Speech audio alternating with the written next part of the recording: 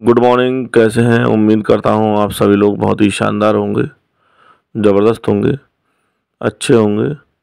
आज मैं आपके लिए लेके आया हूँ एक बहुत ही शानदार वीडियो, जिसमें मैंने एक नेचुरल सीन